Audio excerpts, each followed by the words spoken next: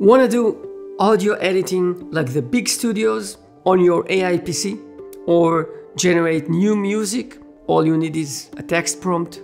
The Intel Core Ultra that has a powerful GPU and an NPU can do some really cool new audio editing tricks that could not be done before. First, you'll need to install Audacity and the OpenVINO plugins. It took me a few minutes, I'll leave you the link below.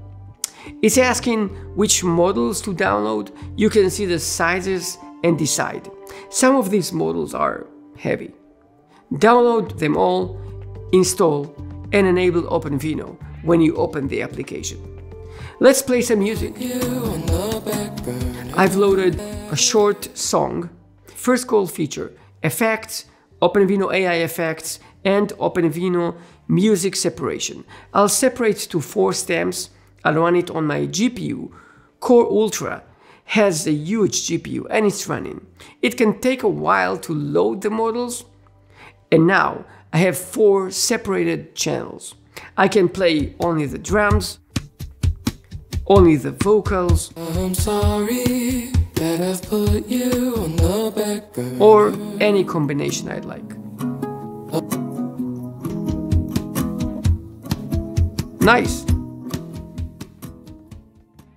I believe that this nation should commit itself to achieving the goal before this decade is out of landing a man on the moon. This is an historic piece of audio, but as you can hear, it is very noisy.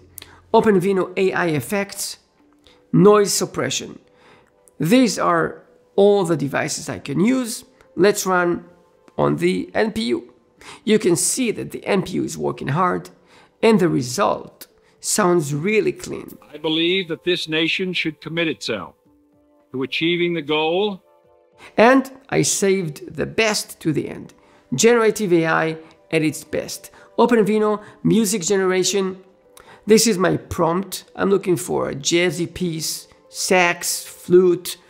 Run the encode on the CPU and the music generation on the GPU and on the NPU.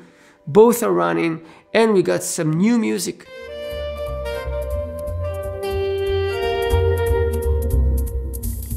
Not Mozart yet, but maybe a few adjustments to the prompt will do.